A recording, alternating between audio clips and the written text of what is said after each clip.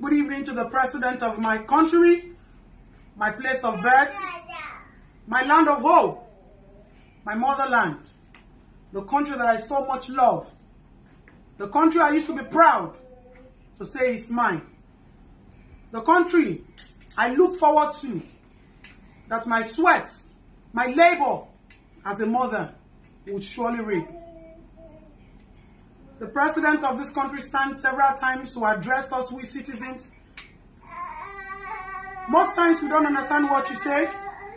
But for benefit of that, I'm going to go ahead to ensure that this conversation is printed on all pages of newspaper so that if the president cannot, I'll drop.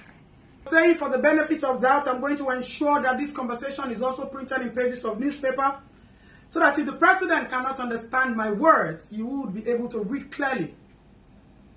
Mr. President, you are the commander-in-the-chief of the Armed Forces of the Federal Republic of Nigeria, but you have failed to protect me and my family.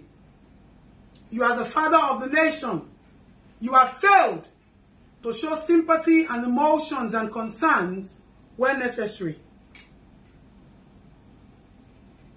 The wife of the president is supposed to be the mother of the nation. She has failed woefully in showing us who and what the power of a mother is. This is not the Nigeria we want. We didn't understand when you were telling us, assure you, I assure you, I assure you. You assured us, we didn't know you assured us failure. We didn't know you assured us killing. We didn't know you assured us suffering. We didn't know you assured us insecurity. We didn't know you assured us a worse education and medical system.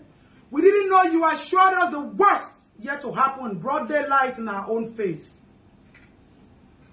I clearly say that I am disappointed in my president because you have failed to lead as expected. Age, they say, is nothing but a number.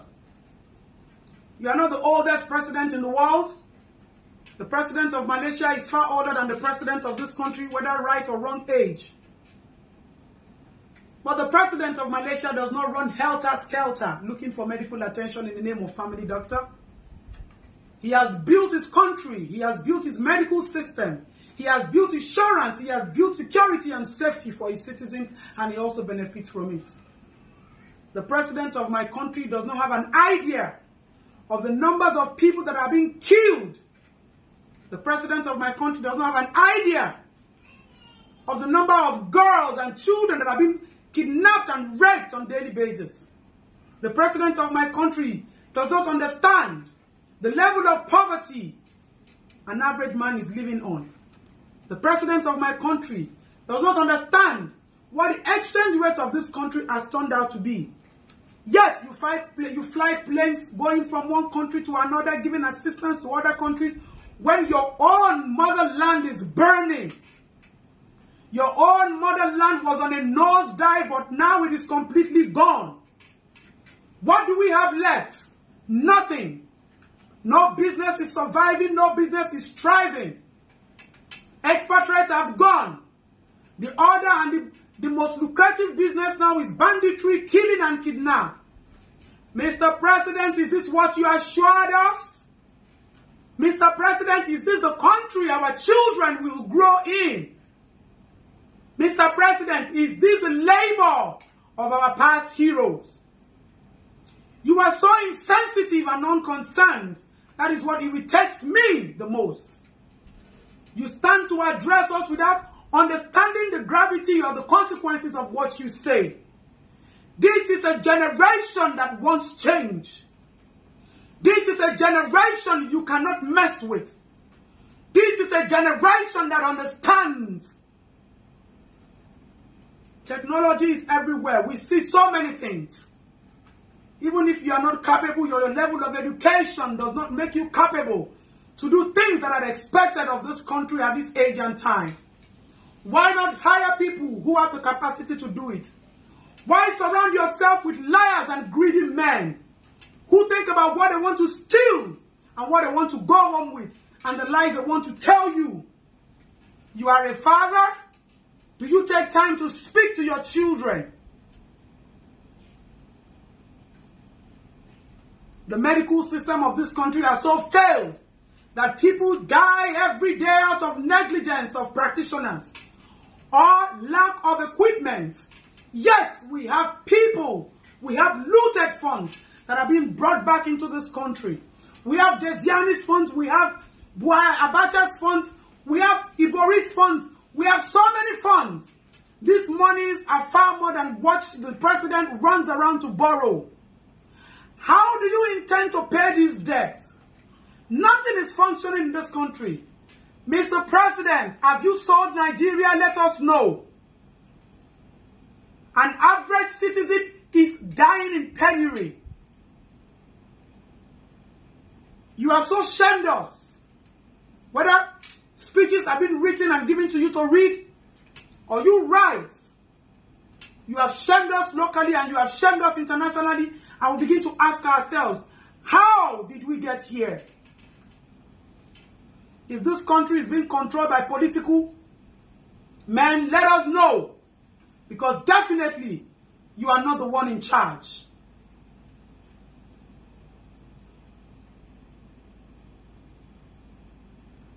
We no longer have international respect. The people who have made Nigeria proud are the people who still believe in the strength of motherland. An average young child in Nigeria has taken his destiny back in his hands. Now our youths begin to do all sorts just to earn a living. Politicians live luxurious lives. And we, our monies and taxpayers are being spent. We finance this country. Every avenue tax is being laid, extortions are being made from the port to every corner of this country. How long do you want to continue to kill us morally? The president, how long do you want to continue to kill us financially? How long do you want to continue to kill us psychologically? It is not by force to rule. How much do you want? We can pay you so you can live. And let's build a new Nigeria for our children. Enough of the killing during the EndSARS we have not forgotten. What is even happening now is worse than what happened in EndSARS. Who are we? Are we still Nigeria? Are we still Nigerians? We don't even know anymore. But you sit in the power. You sit in your office. That office should be called the office of shame. If the chief security officer of the Federal Republic of Nigeria can say they do not have enough ammunition to protect its citizens, what are you doing with our monies? What are you doing with the borrowed funds? Mr. President, I will drop my address and my full information so that if you want to arrest me or I'm going down for this, so be it. One thing I want to assure you, our politicians and our present leaders and the liars surrounding them, this change will come. This change is near. This change is going to happen. There is nothing left. You people have showed your level of cowardice.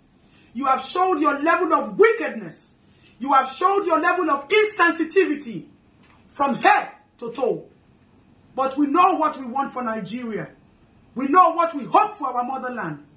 The labor of our past heroes saved us. But nothing has been done from your own dispensation. Mr. President, as the father that rules my country, I am ashamed that this is where you have pushed us. And I pray that sooner than you people think, this change will come.